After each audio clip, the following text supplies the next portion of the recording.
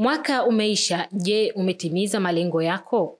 Wapo waliotimiza na wengine kutegemea kudra za Mwenyezi Mungu, lakini kubwa kwao ni uhai. Kinacholalamikiwa zaidi ni hali ngumu ya maisha iliyobeba siasa, demokrasia na masuala ya kijamii kwa ujumla. Kwa sasa wapo baadhi ya wananchi kwao ni mlo mmoja kwa siku na wengine ni milo miwili kwa siku, na ni hali ya kawaida kwao kutokana na kipato chao kuwa kidogo zaidi ya bei za mahitaji ya nyumbani. Mwanzo TV leo iko katikati ya jiji la Dar es Salaam, eneo lenye hekaheka kuanzia asubuhi mpaka usiku, eneo la Kariakoo. Watanzania wanasemaje? Ah, mwaka ulikuwa ni wa moto, ni wa shida kwa pande zote tu, yaani upande za wa serikali, wa familia kote, yani kwa sisi ambao wapambanaji barabarani, kila mahali mimi naona, sababu ukienda kila mahali unasikia ni shida, vilio, hela imekuwa ngumu, hela haionekani, kama si mabodaboda, mafuta kila siku kupanda mara kushuka, unaona hata pale, unaona pale sasa hivi elfu tatu ngapi, mia tano nasema hamsini na nane Lakini serikali kwamba iliwapa matumaini kwamba kuna zile tozo ziliondolewa. Kwani mnaonaje siasa? hamna cha tozo wala nini. Ukikaa huko barabarani, dadangu kwa anaulizwa, anaambia mafuta mpaka anafika kwa elfu moja na mia sita sijui huko, lakini mingine anakuja kuongezeka huko, ni makodi kodi ya ajabu ajabu yameongezwa mengi. Kwani nyinyi sasa hii inawapa taswira gani kwamba serikali inawajali? Haitujali, inatujali kwa namna gani? Ingekuwa bei ya vyakula zinapanda kwa mafuta ya kula, sukari zinapatikana, ngano tunaagiza mpaka ngano. Mwaka jana kodi ya meza ulikuwa unacha shilingi ngapi na mwaka huu unacha shilingi ngapi? Ilikuwa unaweza kuacha hata elfu saba sasa hivi hata ukiacha elfu kumi na mbili haitoshi, haizi katosha. Una watoto wawili nyumbani, una mke anahitaji kula, hao watoto wanahitaji kula, anahitaji waende shule. Huko shule unaambiwa ni bure, lakini michango tu, bado hujaja huku barabarani. Hao askari wenyewe ambao wanatukamatana huku ni shida. Yaani rushwa sasa hivi imekuwa sehemu ya kusaidia tena, sio kwamba kutatua ni kama adhabu, ni sehemu ya kusaidia kutatua matatizo. Maana huko barabarani shida ni nyingi, ili uweze kutatuka na hizo shida ni vipi? Uweze kunini ukitoa kidogo naona una nini unaishi unaachiwa, sababu makosa ni mengi, hamna asiyekuwa na makosa, kila mtu ana makosa. Ile ile unaishije? Unapotoa kidogo unasaidiwa, naona nini unasaidika. Kwa hiyo unamsaidia yule, naona unajisaidia. Sio kwamba na wao hawana shida, wana shida nyingi kinyama yani, ila hawawezi kukuambia kwamba naomba Itakaa mtanegotiate biashara pembeni, le shika hichi bana, niachie na mimi shika hichi nacho baki nacho fresh, unatembea zako. Mwisho matamanio yako ni yapi kwa kazi? Ah, dada yangu, tumekuwa tunatamani tu, haitakaa iwe, nasikia Yaani hii, kizazi labda kifutike, ndio watu watakuja kuwa na akili, lakini kwa staili hii kila mtu ameshakuwa ni chawa, kila mtu ameshakuwa ni kusifia ili kuweza kwenda nini, kwenda mbele. Lakini tofauti na hapo, nani atakayeongea? Ukiongea sasa hivi, si umesikia juzi hapo, tawatafuta wote huko, mtakamatwa. Ina maana kwenye mitandao hata sio salama, mtakamatwa, utapigwa pini. Sasa hiyo ni maisha hayo, hamna matumaini. Kila mtu anawaza baki pale ambako anatakiwa kubaki, ndio hivyo. Lawama zinakwenda kwa serikali. Hali ya maisha ni ngumu, ni ngumu kutokana na ma, na kutokana na vitu vi, vimeongezeka thamani. Yaani vitu vikiongezeka thamani, na maana kuna vitu vingi navyo vinakuwa juu zaidi, kutoka maisha yako chip, ila vitu viko juu. Ni mfano mzuri kwa sasa pia, hii mwezi huu Disemba tarehe nane, serikali imeongeza nauli za kwenda mikoani ukiangalia mfano wanaotokea Bukoba laki na elfu tano kwa mwananchi wa kawaida kutoka Bukoba kuja Dar ni ngumu sana. At least hata wa Dar es Salaam anaweza akasema "Ah, wewe nende, au kwa watu ambao wamepata matatizo, mtu anaumwa anafanya nini, takuwai laki na elfu tano ni hela nyingi sana kutokana na maisha jinsi yalivyo. Yaani uhalisia wa maisha kwa wananchi wengi kwa Tanzania kwa asilimia sabini na tano ni asilimia ya watu ambao maisha yao yako chini sana. Asilimia ishirini na tano ni watu ambao wako juu sana.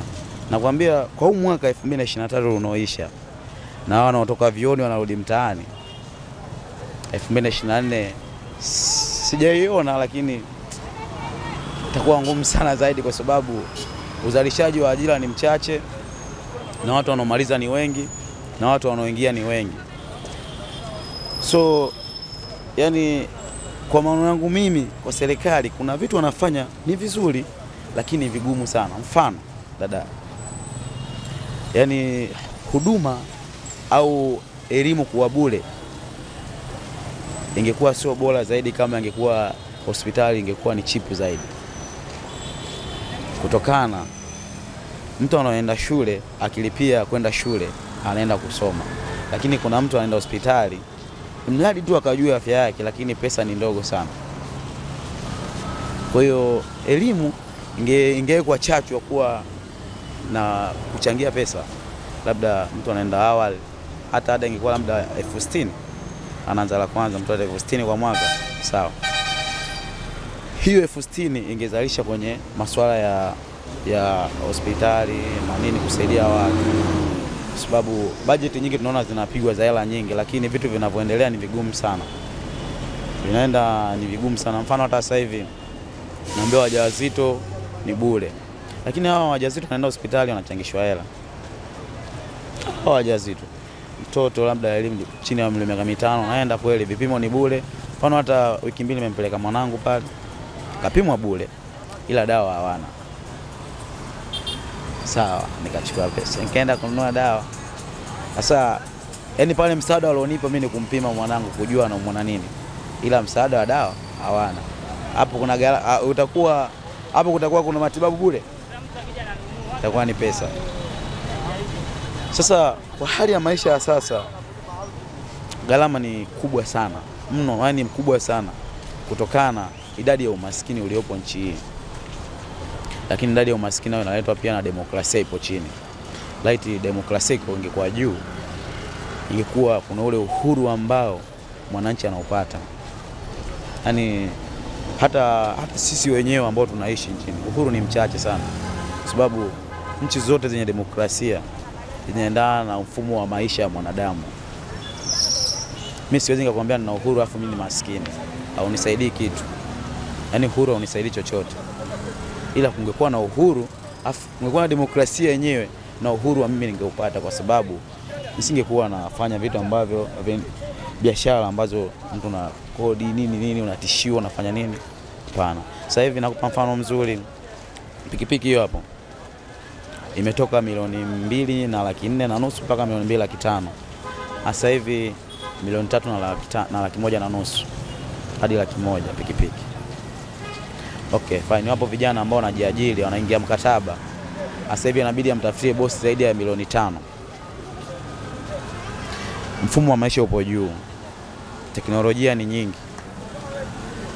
Kama teknolojia ni nyingi, yani ili uingie kwenye system ya teknolojia, labda mfano Bolt, Uber nini, inabidi uendeshwe, sio ujiendeshe, kwa sababu unatafutiwa, unapewa, unafanya. Mtu anaingia mkataba wa mwaka mmoja na nusu arudishe milioni tano na sababu mwanzo milioni mbili na laki nane unarudisha milioni nne kama na nusu. Sasa hivi lazima imeongezeka gharama juu na muda umeongezeka. Sasa mimi na wewe sasa hivi mi nachukua pikipiki ya milioni moja na nusu kwa mwaka na watoto na mke na mama, hizi gharama hapo zinakuwaje? Lazima nitakuwa na maisha magumu ili nimalize, lakini yote na yote, kutokana na hatupendi kuiba, hatupendi kunyang'anya, lazima tufanye kazi, tufanye kazi, tuingize kipato. Kitakachopatikana tuna management, tunagawanya, kinachobaki tunaweka, kisichobaki tunatoa. Kingine kwa sasa serikali inasema na mikopo, wanasema mikopo ambayo riba ipo chini, ila fuatilia halmashauri zote zinazotoa vyombo vya moto zinavyotoa mikopo nyingi zina unyang'anyi ndani yake, sio wa vyombo, sio wa pesa, sio wa mali, kutokana na madeni. Nakwambia, anayekopa anayesema nitarudisha tarehe fulani, lazima ataipitisha ile siku fulani, kutokana na mfumo wa maisha. Yaani hata mimi niseme nikukope mwandishi, afu nikwambia Jumatano ijayo nitakupa pesa kwa maisha ya sasa sio Jumatano, itakuwa Ijumaa aisa Jumatano ijayo ndio nakupa pesa. Kwa hiyo mfumo uliopo kwenye halmashauri za chini mpaka nani, yani mpaka kwenda juu mpaka benki kwenda nini, ni ngumu sana kwa mtu ambaye anaelewa, ni ngumu sana. Kwa hiyo mikopo inaumiza watu, mikopo inatia watu maskini hiyo hiyo mikopo, yaani mpaka sasa hivi watu wanashangilia kuona kwamba kuna mikopo hiyo wanaita kunyonya damu. Mtu anafanya ili kukizi lengo, lakini athari zake anaziacha nyuma, kwa sababu ili ufanikiwe lazima ufanye kitu chenye faida, lakini hiyo hiyo faida pia kuna hasara. sababu hasara huiweki sana, unaweka faida, lakini unapima fanya kwa malengo, hichi ninachofanya mbele kina kizuri, kina kibaya na kizuri. Hali ya siasa nayo imekuwa changamoto mwaka huu. Wanasiasa wanatajwa kuwahadaa wananchi na ahadi zisizotekelezeka. Yaani kiukweli maisha yamekuwa magumu sana. Yaani pesa sasa hivi hata ukipata elfu kumi hata nyumbani haitoshi. Mimi na, na mke na watoto watatu nyumbani kwangu, kila nikiacha elfu kumi nakuta nyumbani deni, lakini ukiangalia uh, ni kweli, sababu akienda gengeni nyanya moja mia mbili kitunguu mia mbili sijui kanunua hiki eh, vitu vile vimepanda bei. Kwa hiyo unakuta yani serikali hawatuangalii watu wa hali ya chini. Unajua aa, sisi huku chini yani ndo tunawalisha huko juu. Unajua waziri, waziri sijui nani nani wao wana, wana, wanakula tu yani sisi tume, hizi mia mbili mia mbili. Makodi wametuwekea kila. Makodi. kinunua kiwembe tu kodi zake hizo, ukinunua sabuni kodi zake hizo, lakini zile kodi hawaendi kututengenezea mazingira sisi watu wa hali ya chini, wanajitengenezea mazingira wao, na ndio maana tunasikia tu ma- mapesa yameibiwa, sijui mabilioni yameibiwa huku, alafu wale watu bado wana wanakula bata mtaani. Wakija hapa unakuta gari liko pale masaa sita, dereva yuko ndani linaunguruma tu. Hawajui kwamba ile pesa inayounguruma pale ni pesa ya wananchi, lakini angeshuka kakaa kwenye kivuli pale, tungepunguza gharama. Yeye anakaa kwenye gari pale, anamsubiri kiongozi wake aenda kununua suruali mbili tatu, sijui huko katikati, masaa sita gari linaunguruma, kakaa tu pale anakula kiyoyozi. Lakini sisi wahangaikaji. Kwa hiyo maisha yanazidi kuwa yako juu na, na kipato chetu ni kidogo. Ukiangalia makodi tunaowekewa yanatufanya kiukweli hatusonge mbele. Mfano wewe mwaka jana ulikuwa unaacha shilingi ngapi kodi ya meza na mwaka huu unaacha shilingi ngapi? Kiukweli nilikuwa naweza kuacha hata elfu tano elfu sita kidogo maisha yalikuwa, lakini sasa hivi ukiacha elfu kumi mimi kiukweli kwangu nikiweka elfu kumi pale mezani, yaani mke wangu, "Ah, wangu, hii hela kidogo haitoshi. Na kweli ukiangalia, nilifanya siku moja ah, nikasema acha nishinde na mimi nyumbani nione vile hela inavyotumika. Kiukweli vile nilivyoongezeka mimi, ile elfu kumi ilikuwa chache na si yani, kila kila kinunua unajua "Ah, kweli kanunua, au hata mwanaume mwenyewe ukiona naibiwa, nenda gengeni wewe. Sasa ile hela haitoshi, haitoshi. Basi tunawacha tu wanawake wanajibana. Kuna wakati mwingine ukivizia uki- uki- uki- kurudi nyumbani mchana, wanakuwa wanakula vitu vya shida shida sana, ili kuvizia labda chakula cha jioni, kwa sababu tuko wote tule chakula ambacho kina, kina kila mtu atakula atalizika, lakini mchana kiukweli huko nyumbani tunawatesa tu familia zetu, lakini serikali hilo hawalioni. Tukienda huku mahospitali, unaweza ukawa mtoto na bima akapimwa pale akaonekana na malaria, watakupa panado tu, nakwambia hizi dawa zingine hapa hatuna. Sasa unajiuliza, bima nimekata, naambiwa tena nika nikanunue dawa wakati bima ninayo, hospitali hawana dawa. yani kila kitu ni shida tu, tusiende mbali, umeona mtaa hapa, barabara ni mashimo, maji, yani kila sehemu maji. Sasa wewe fikiria Kariakoo, je, kule Kitunda kule kwetu kule, ushawahi kutembelea Kitunda? Unakaa Kitunda, ile barabara unaionaje? Yani ukiiona ile barabara unasema hivi kweli huko na diwani na sijui na serikali, yani una, yani si mamibunge hivi si banani, hatuna kule, hatuna hatuna watu, hatuna hatuna viongozi, ila tuna watu wa chumia tumbo, yani wanatafuta maisha wao wale. Wangejua tunavyokuwa na hasira kule mtaani wakija, kiukweli mimi hata nikimwona mbunge wangu na sheria tu zinatulinda we. lakini una- una- unakutana naye sehemu kidogo nazipiga kwanza, kwa sababu hawa ndio wakikaa kule bungeni wao wanakula tu. Mwisho uh, matamanio yako 2024 labda pengine. Kiukweli, kiukweli viongozi huko juu ambacho wanatakiwa wakifanye, watu wache wananchi, tuchague wale watu ambao tunawataka sisi, wakatuongoze kule mtaani, na wanapokuja, kwa sababu sa- sasa hivi hivi Jelisla sasa hizi akija kule Kitunda utamuuliza nini? Atakuuliza ulinichagua wewe, ulinipigia kula? Kwa sababu hata upige kula atapita wao wanayemtaka wao, lakini wangetuachia sisi, aliyepita sisi tuliompigia kula sisi. Unajua huwa tunaacha tuna, tuna, tuna kazi zetu tunaenda kupiga kula, lakini wangeacha wange, wange, yale maamuzi yetu tukaenda nayo sawa, nadhani ile barabara ya Kitunda ingie kutoka Banana mpaka Amana Mpya kule, ile Amana Mpya unaiona ile? Hebu pita ile barabara ya Amana Mpya, hebu fikiria mgonjwa yupo Amana Mpya kule, anatakiwa aletwe labda Amana hii hapa Ilala, mgonjwa wako atafika kwa ile barabara? Atafika? Hafiki.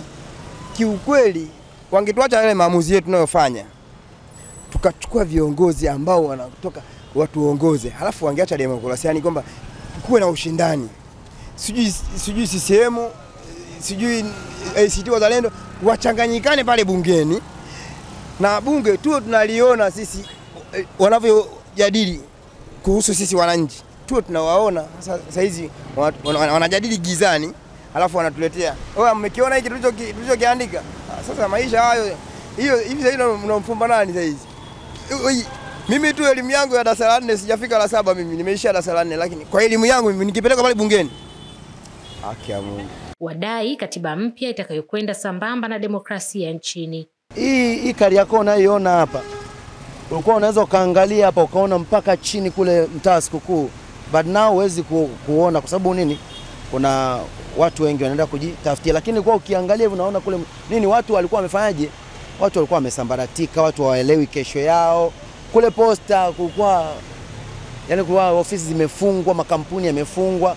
Hii nini hii uchumi supermarket iko gofu sasa hivi hapo ilikuwa imesambaratika, lakini ilikuwa ina, ina watu wengi sana, na haya ma go down, go down, makampuni mengi yalikuwa yame, yamebeba familia nyingi, kwa sababu ukiajiriwa wewe unakuwa ume, umewabeba watu wengi nyuma yako. Kwa hiyo kimsingi vitu vingi, vitu vingi viliharibika. Hata sasa hivi uh, mifumo in, bado mfumo ulioko ni ule ule, kwa sababu hatuoni kwamba kama taifa lina, lina, lina, lina, kama viongozi wa taifa wanawaza nini kwa ajili ya wananchi. Kila siku watu wanazaliwa, kila siku wanaongezeka, wao hawawazi kwamba kwa sababu watu wanaongezeka na serikali, hamna serikali duniani ambayo inaweza ikaajiri kila ikaajiri wananchi wake wote. Tunaliamini hilo sawa, lakini kuna mi, mi, mi, mifumo ambayo inaweza ikawekwa ikaleta ika, ika, ikaleta ahueni kwa wananchi kwa sababu watu wana, wana, wanahitimu, watu wanatoka kwa mavyuo, watu wanatoka hapa na pale, wanahitaji kupata ajira. Ajira ni moja ya ajira. Mimi nilitegemea pengine wangekuja na, na mfumo. Yule mzee alisema kwamba serikali ya viwanda, lakini mpaka amekufa hamna hata kiwanda hiki kimoja. Mwisho siku kwa nasikia tu oh, mwenye nyanya mafungu mangapi ni kiwanda, mwenye cherehani tatu ni kiwanda. Sasa mawazo ya, ya kijinga sana mawazo. Kwa hiyo mpaka sasa hivi ukiuliza serikali ina, ina viwanda vingapi? Hakuna. Huyu naye anasema si kazi iendelee. Tuna, mimi ninaamini sana kama makampuni wangekuwa na mawazo ya, ya, ya, ya wawekezaji wanaoleta tija ya maendeleo katika taifa, wawekezaji wanaoleta tija. Maana kuna wawekezaji ana- wana- wanaele- wanaelewana tu mikataba wanasainia sainiana huko wakijiangalia wao na familia zao. Basi, lakini mwisho wa siku sisi kama wazao wa nchi tuna- tunaendelea kuishi maisha yale yale. Zaidi sana, tunaishia tu ku, kupasua kuni na kuendelea kuishi maisha magumu, lakini wangekuwa wanawaza shida ya shida. Samani mimi ni, ni nani kidogo? Shida ya CCM shida ya chama cha CCM au shida ya serikali iliyopo iliyopo tangu miaka. Huwa wao wanawaza first, wanawaza chama kubaki madarakani. Secondly, wanawaza wanawaza wao na familia zao, yani wao wanachokiwaza kwanza ni kwamba chama kibaki madarakani. That is wrong point. Mimi na wa, nafikiri mataifa mengine huwa wao wanawaza cha kwanza wanawaza namna gani ya kulisaidia taifa, yani wanawazo gani kuhusu taifa, ndio wao wanawazaga hivyo. Lakini sisi shida yetu sisi hapa, mtu anawaza ah, hivi nikiondoka hapa anakuja nani? Nikiondoka hapa, na ndio maana unaona sasa hivi wanasumbuana kuhusu nini, katiba hii katiba ya nini na nini na nini. Wanani wajua kiweka katiba ile Warioba wao hapo madarakani yani wakiru, yani once wameruhusu tu ile katiba, katiba ya mzee mzee Warioba hawapo madarakani. Sasa huo ni ujinga, sawa? Nasikia huo ni ujinga. U, u, wawaze kwanza kuhusu taifa, ndio baadaye muwaze kuhusu CCM, si kuhusu Chadema, si whatever hivyo. Lakini mkianza kuanza siku Chadema, si nini, taifa linaangamia lina, lina kwa hiyo mimi nafikiri cha kwanza wangewaita wawekezaji wenye tija kwa wananchi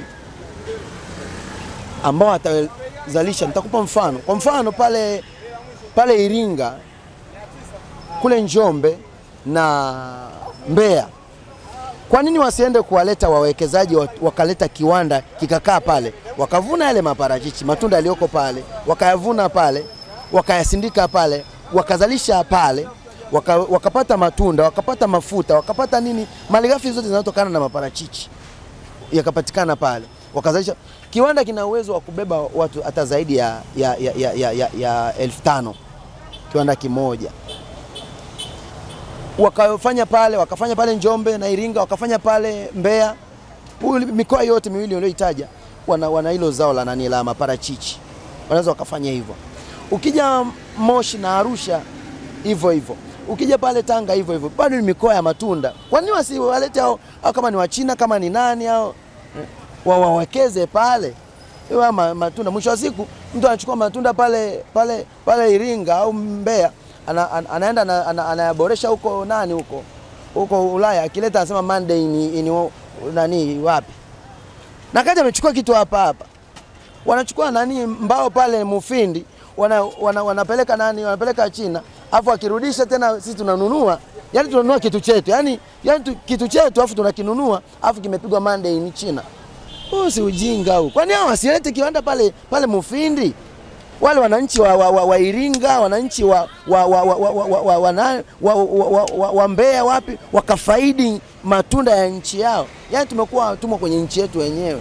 Yani sikiza, yani bado sisi bado tunaishi nani nani sana maisha ajabu sana, lakini kimsingi ni kwamba tuna serikali ambayo haiwazi, sijawahi kuiona ikiwaza kwa ajili ya nchi taifa, sijawahi kuiona.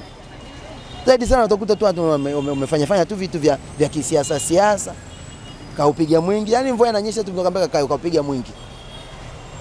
Hivi kweli, kwa mfano niku, nikuulize mwandishi. Tu, tu, tuongee tu ila tusie tukanani uh, tuongei tuna, tuna, I'm trying to think. Hivi. Kwa mfano Jangwani unapafahamu? Sawa, lile daraja lilojenga pale pale Salenda lile la pale baharini, hivi kipi kipaumbele? Hivi pale pale Salenda lile daraja lile lilojengwa pale na hapo Jangwani ambapo panastopishaga uzalishaji kwa watu wengi sana kipi kipaumbele? Tuache hiyo. Hivi hivi unaposema eti kwamba eti, eti kila goli milioni tano afu leo hii tunapata shida ya pale Hanang tunapitisha bakuli mtaani hivi una, hivi una, unaelewa kweli hmm? Yaani sasa tunavyoongea hapa, kuna shule haina matundu ya choo, kuna shule haina madawati ukifika Mwimbili pale, hata tukiondoka sasa hivi mguu wako, twende wodi ya Mwaisela. Naongea Mwaisela kwa sababu napafahamu mno, yaani napafahamu kuliko unavyofikiri, kwani najua kitu gani. Twende tu pale Mwaisela, kuna wagonjwa wako pale. Mimi najiuliza kwamba kwa nini nchi yetu, kwa nini hatusomi bure? Kwa nini hatutibiwi bure? Yaani sikiliza, hii nchi sisi ambao kidogo tume nani tume tumepitia pitia kidogo kidogo kwa mbali Biblia, mimi naamini nchi ni Kanani, ila hatujui kama tuko Kanani. Yaani nchi ina maziwa na asali, lakini hatujui kama tuko kwenye maziwa na asali. Kwa nini? Kwa sababu wa, wanao wanao tu, wanao wanaotawala au wanaotutawala akili zao zimetiwa giza, yaani wana masikio hawasikii, wana macho hawaoni. Lakini tuko Kanani, hii nchi Mungu, nafikiri Mungu amebariki kuliko nchi zingine zote duniani. Hii nchi ina kila kitu. Kwa hiyo ah, se, yani nafikiri sisi kwa haraka haraka, mimi nafikiri Haya mambo ni wengine wanasema katiba, wengine ni Mi- mimi mimi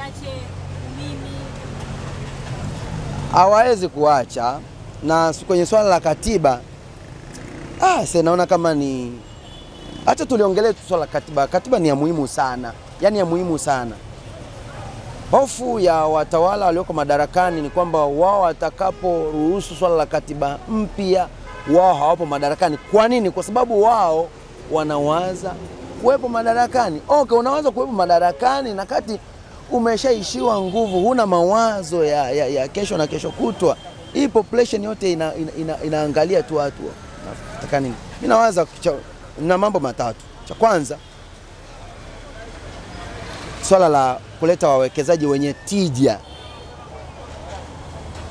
waweke viwanda pale hii mikoa niliyoitaja, Mbeya, Iringa, Tanga, Moshi na Arusha. Kutoka Dar es Salaam, Asia Gamba, Mwanzo TV.